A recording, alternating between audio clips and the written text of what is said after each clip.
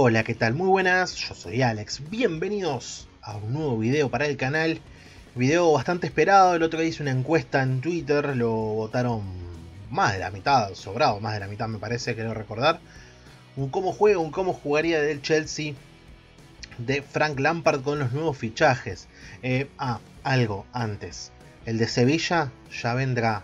No se preocupen los hinchas de Sevilla que han escrito en los últimos comentarios y eh, los que quieren ver el, Sevilla del OPTI.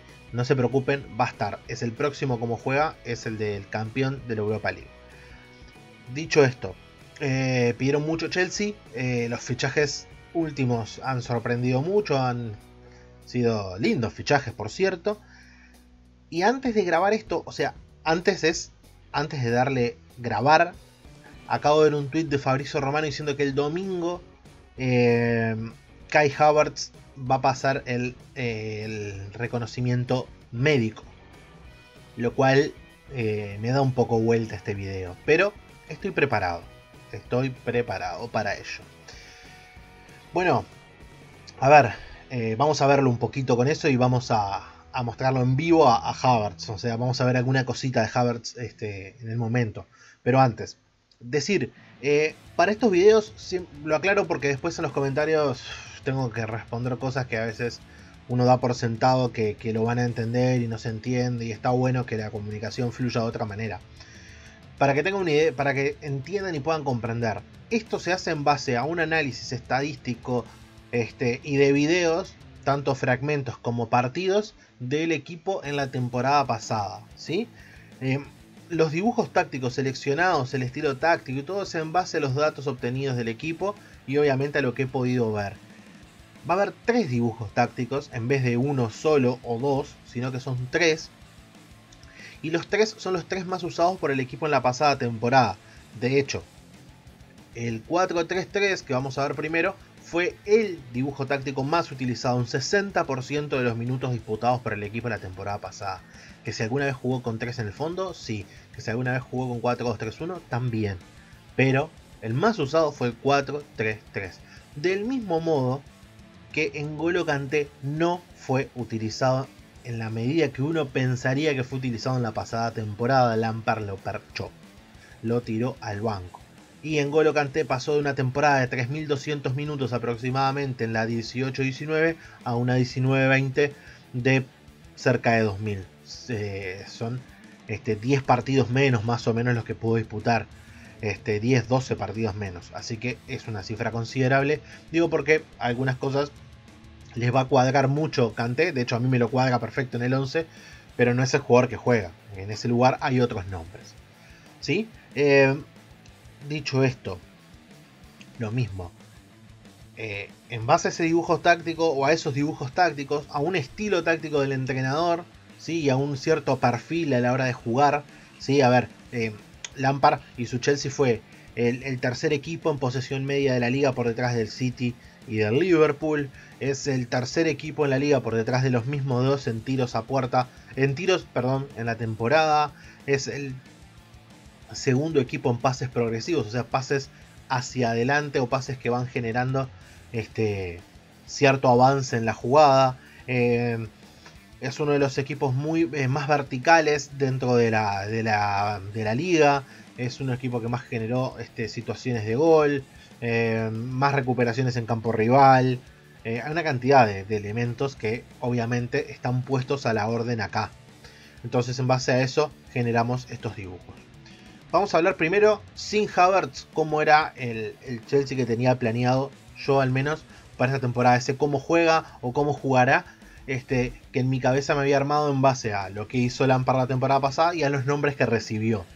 ¿Sí? En primer lugar, lo que había visto Sí, era esto, sí, un 4-3-3. Vamos a poner elección rápida para que elija los jugadores y listo. Hay algunos que, no están tan como internacionales y por eso no, están ahora. Y por eso también me pone a gente ignota, ¿no? Pero vamos a armar el, 11. Desde atrás, ¿sí? Hacia adelante, quepa en el arco, un portero cierre. Laterales, Rhys James. Después, dos defensas.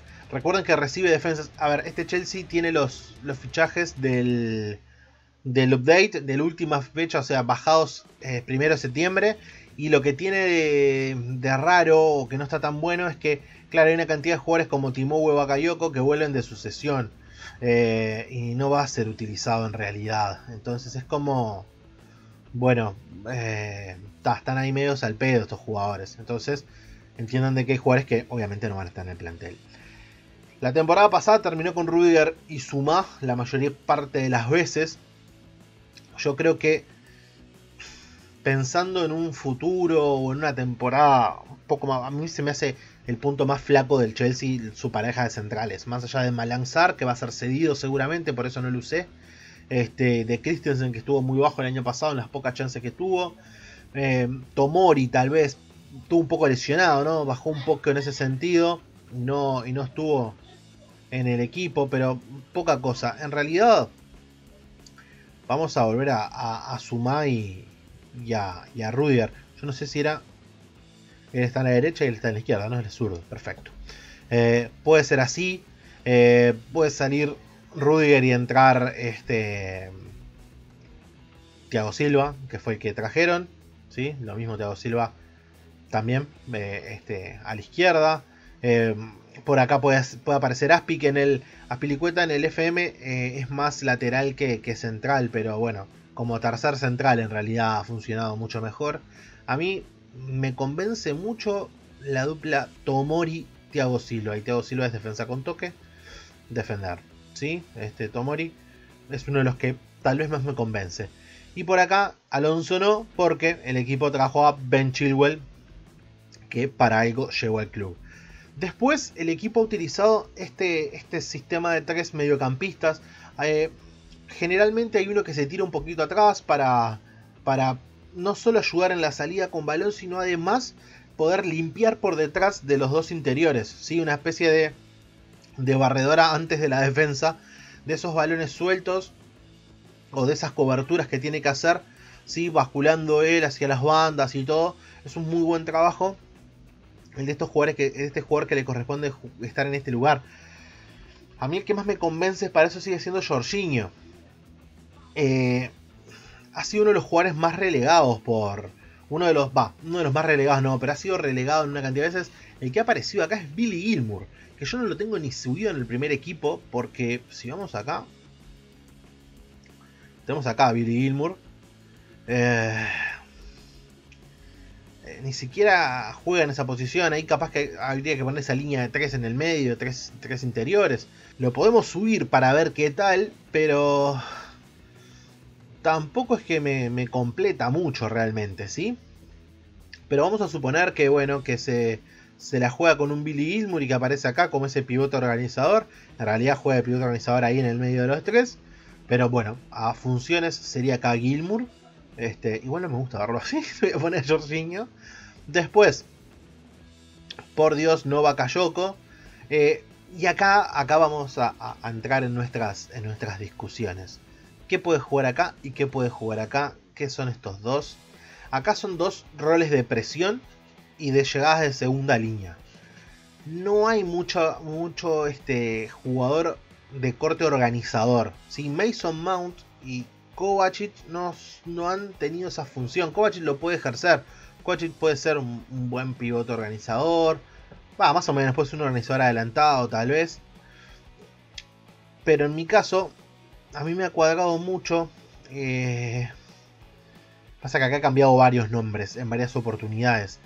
Eh, por ejemplo, yo he usado acá no Metzala, aunque sí, y acá como terreno no a N'Golo Kanté, sino a Mason Mount.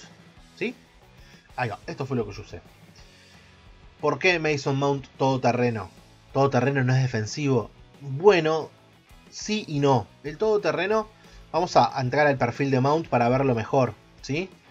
El centrocampista todoterreno tiene que tener una cantidad de cualidades, entre ellas la capacidad de tener entradas bastante alto, porque presiona encima del, del balón. Esa presión le genera al jugador eh, tener que tener la capacidad de robar la pelota, o sea, generar entradas para llevársela. Este, no tiene que tener alto marcaje, claramente no, porque no es que va a marcar a jugadores, sino que va a presionar sobre el balón. Sí tiene que tener, por ejemplo, alto sacrificio, resistencia, eh, bueno, fuerza y equilibrio es donde se me queda un poco, un poco bajo, pero ven que están subiendo sus atributos. Tiene 20 años recién el chico. Este, y después, todos los otros atributos mentales que él tiene altos son claves. O sea, su juego en equipo, los desmarques, decisiones, técnica, eh, remate y regate robarla, sacarse un nombre de encima, pasarlo, pegarla al arco, va, va, a robar muchas pelotas con presiones altas cerca del arco rival. Esas cosas hacen un todoterreno. No necesariamente tiene que tener un corte defensivo. ¿sí? Lo mismo pasa con Engolo Kanté. Engolo Kanté no es un jugador de corte defensivo. Tenemos un preconcepto con los jugadores. Con los jugadores este, negros en general de descendencia africana que pensamos que todos son marcadores súper eh, rústicos y, físicos y te rompen todo. Y no, Engolo Kanté no lo es, Frank tampoco lo es. Este, y así hay más casos de, jugadores así. Thomas Party no lo es. ¿sí? sí son jugadores de presión, de presión alta, porque tienen un físico privilegiado para correr mucho.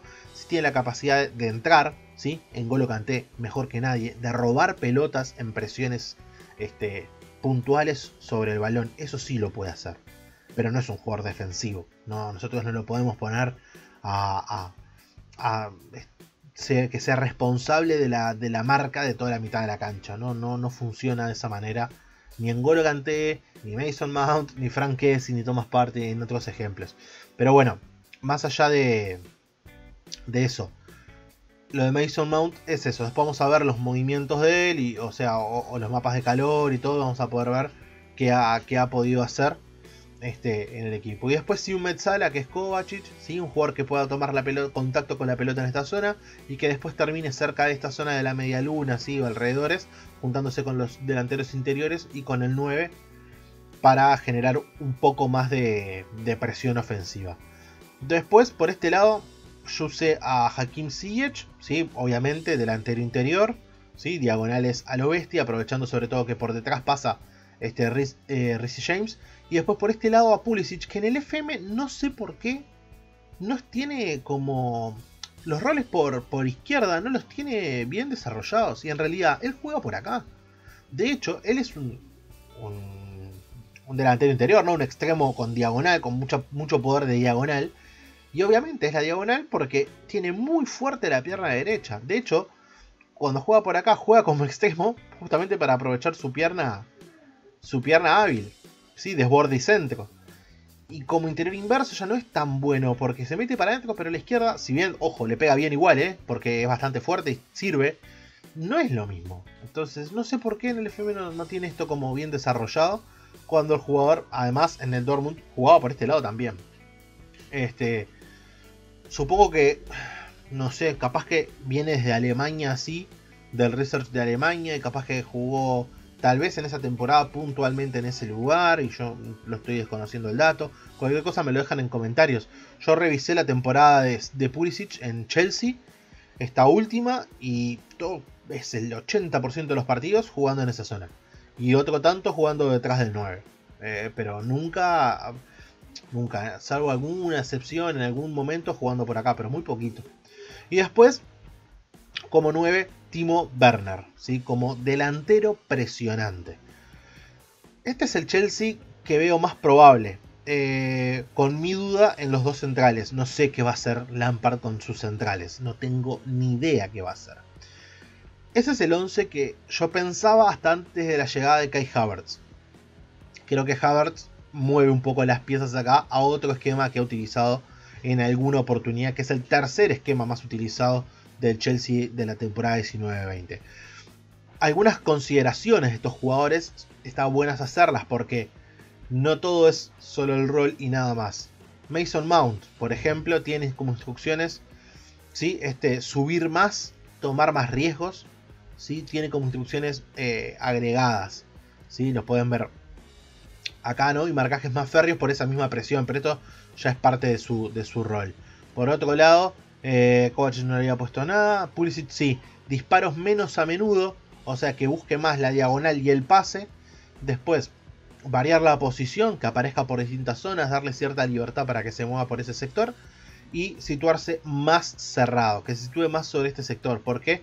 Para aprovechar la subida de Ben Chilwell. Por el otro lado, Siege es todo lo contrario. Siege no es un jugador asociativo, no es un jugador de diagonal y pase, no, es de diagonal y al arco. Entonces, aprovechamos eso, le ponemos batería a la posición, situarse más cerrado también para aprovechar a Rizzy James. Y yo le había puesto, no sé si en este dibujo capaz o en otro, era disparar más a menudo. ¿Sí? Este, tal vez era en otro, en otro dibujo que lo hice al principio y después como fui copiando tácticas no lo, no lo agregué. Pero era lo otro, ¿no? O sea, disparar más a menudo, aprovechar el recorte hacia adentro, este, su gambeta limpísima que tiene y, y darle el arco. Hay algo que, que me preocupa en este FM, que es el remate de, de este de Hakim Ziyech. Tiene solo 10 de remate. Es uno de sus atributos más bajos. ¿Sí? Más allá de los defensivos de 6 y eso. Yo no, no, no me cuadra mucho ese 10 ahí en un jugador que es muy bueno finalizando. De hecho, jugué poquitos partidos, ¿no? Pero tiene dos goles. Eh, oficiales el que tiene más goles. Este, no es un goleador, yo lo sé. Es más eh, asistidor. Pero lo veo más como un finalizador, sobre todo en el contexto Premier. Igual, lo que se puede hacer para aprovecharlo en el juego es este, sacarle esa instrucción y ponerle disparar menos a menudo. Hacer lo contrario, para aprovechar su 16 de pases ¿sí? y su visión 17, la capacidad que tenga para asistir y para generar pases, este, los, los famosos key passes que tanto menciona Miguel Quintana el Mr. Underdog y que sido como un meme ya. Pero justamente eso, ¿no? Esos pases clave que son o asistencias o pases que generan mucho peligro, segundas asistencias, esas cosas que están muy buenas y que son muy útiles. Y después, Timo Werner, que es este, la frutilla de esta torta, aunque ahora Havertz puede ser lo más, que a él como delantero presionante lo que le puse fue variar la posición, disparar más a menudo y tomar más riesgos. ¿sí? Creo que es el jugador que más debe arriesgar porque tiene mucha capacidad goleadora y que está jugando en un puesto donde debería desenvolverse bastante bien dentro de todo. Eh, es raro porque en el RB Leipzig ha aparecido casi como un extremo por izquierda en el circuito de Nagelsmann. Igual a mí no me parece un extremo por izquierda, sino que me parece un delantero, un segundo punta pegado a la banda. O sea, sería esto, acá, con un 9, pero no esto partiendo un poco de más atrás. Y después, perdón, por otro lado, el otro esquema que usó Lampard en, ese, en este momento fue esta especie de 3-4-1-2 que también lo usó, usó bastante. Y a mí me pareció súper curioso porque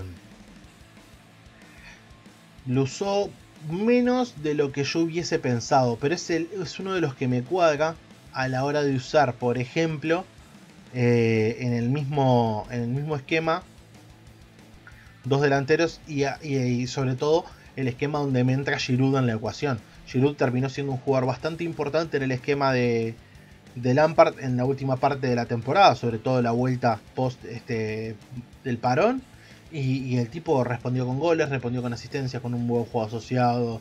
Eh, jugó realmente bien. Entonces, no sé si va a aprovecharlo. ¿Qué le queda en este sentido? Un mediocampo tal vez menos combativo desde el punto de vista físico de lo que nosotros podíamos esperar del Chelsea en Premier, que es una liga generalmente física. Aún así, tenés tres tipos en el fondo que serían las máquinas. En mi caso yo lo que paré fue esto, con Kepa, Tomori, Rudiger y Thiago Silva. Esto puede ir variando. Eh, Rich, James, Chilwell como carrileros completos, sigue siendo la banda que funcionen casi como extremos. Pivote y todo terreno. Este, Kovacic ya bajando esta zona para tomar control del balón. Mason Mount eh, sumado en la presión. Ziyech, ahora sí como un lanzador de los dos delanteros, como un buen enlace. ¿sí? No le puse instrucciones. Me parece que las de las del media punta ya, o sea, con su rol ya lo puede cumplir. Lo único que agregaría tal vez fuese moverse entre líneas o variar la posición. Sobre todo por el desconcierto de los, de los interiores rivales y de los defensas sobre todo. Y después, arriba, Oliver Giroud, con variar la posición, con tomar más riesgos y disparar más a menudo. Y Timo Werner en su rol RB Leipzig. Segundo delantero, un delantero presionante. Riesgos, disparos a menudo, variar la posición y abrirse a banda. ¿sí? Que se tire a un lado, que se tire al otro, que juegue, que se conecte con los carrileros y que tome contacto con el balón a veces eh, a unos 20 o 30 metros del área. ¿sí? Que, o sea, que tome contacto con el balón por esta zona de acá. Y que ahí pueda este, generar su fútbol. En ese sentido, hasta ahí es donde veo al Chelsea. Eh, algo que no les dije, no cambian las, las instrucciones generales del equipo. Eso fue lo único que no toqué. O sea, lo que hice fue, sí, acá de base, pero después también algunas cosas. Como siempre que, les comento eso, que, no dejo nunca los, los, roles como vienen, sino que después voy retocando. Es un equipo que ha jugado mucho con pase corto. Este, que a veces acá, que a veces acá, dependiendo de los rivales, con rivales más duros acá, con rivales más débiles acá. Que genera por posesión. Es uno de los, es, bueno, después de City, es el equipo con más toques por posesión de la liga. Entonces, bueno, es importante.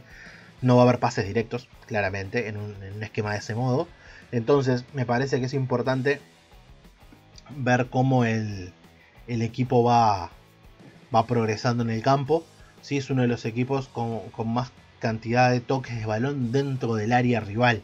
Eso me pareció terrible estadística y después cuando recorres los videos, ¿sí? los resúmenes este, relacionados a ese apartado, este, eso es en base a, plataformas de análisis. Eh, esto, ¿no? Intentar llevarlo al, área es eso, es eso mismo. Me parece muy genial cómo el FM te puede dar eso. Después, el enfoque por el centro, por la salida, por Kovacic, por apoyarse en él, y en los centrales como un juego de balón, y que los laterales doblen banda.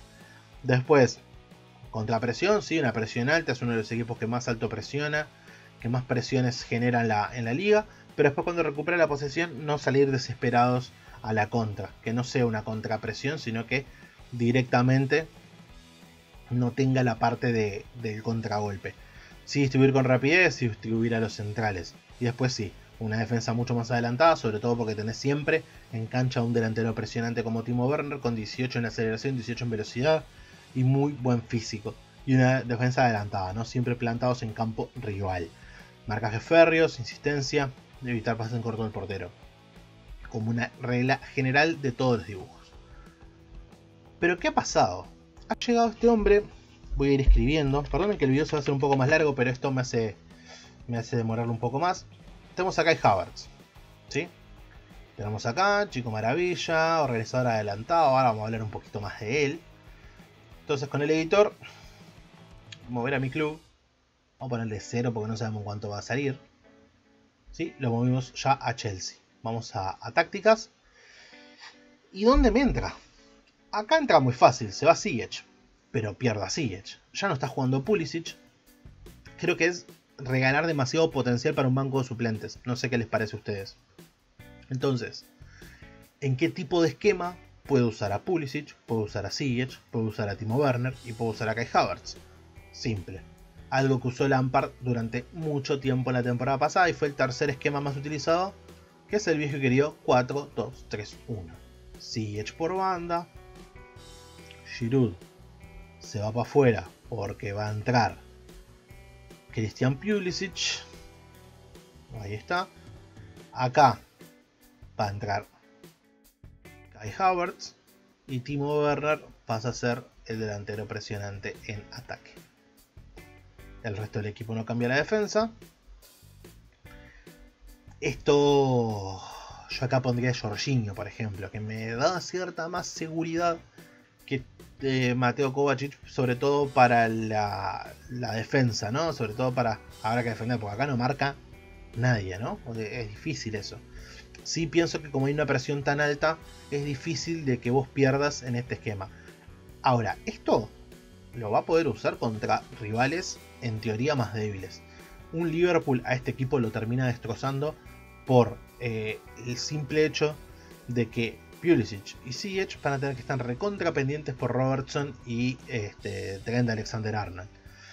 Y en la mitad de la cancha te superan. Te supera Henderson, te supera el medio este, te rompe. Si el medio de Liverpool te termina rompiendo, Vaginaldum, eh, Navi Keita si juega, Fabiño sobre todo, te termina rompiendo bastante. Aún así, levanta excesivamente la capacidad competitiva del equipo.